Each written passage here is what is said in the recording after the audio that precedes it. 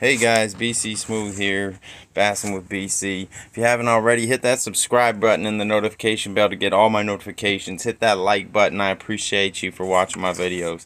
Today, we are putting together one of these kayak angler uh, starter crate kits from yakgear.com and basically uh, you can get these through other companies too but I got it from, straight from the uh, manufacturer and basically it's just a milk crate with their logo on it, Yak Gear. And basically it comes with two rod holders that are universal for bait casters, spinning rods, and you screw them onto it. it comes with a little pouch for the side of it.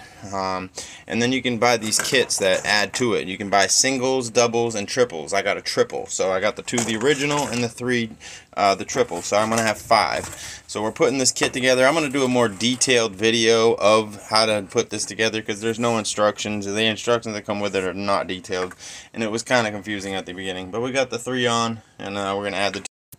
So basically, all you need for this project is uh, a screwdriver and a long screwdriver, a Phillips head, and some type of wrench, like an adjustable wrench or something like that. So basically, you're going to be putting, you're going to be mounting these um, rod holders to the mounting brackets, and then to the crate itself and you can see the screws come out the other side there and with washers and stuff. And it's pretty simple but at the beginning like I said with the directions and stuff that come with it they're not very detailed. It was kind of difficult to figure it out how to get started with it. But basically you got to put the middle one on with the two brackets and then drill everything and then attach the other two all together at once to the crate.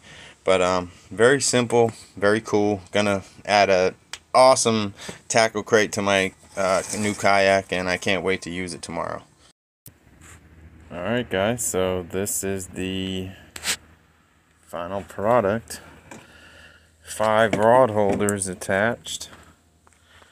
I got the three that will be right behind me and then I got these two and I angled them a little bit back so they're not all straight up and down. But that's it and then you know I can put some pliers or whatever if I really wanted to in there and stuff. But uh, it was pretty simple. I didn't I didn't put the pouch on. I'm not sure what I want to do with that yet. I don't know if I want to put it inside so I can reach it because if I put it on the outside and that side's to my back in the kayak I'll have to reach all the way back behind me here.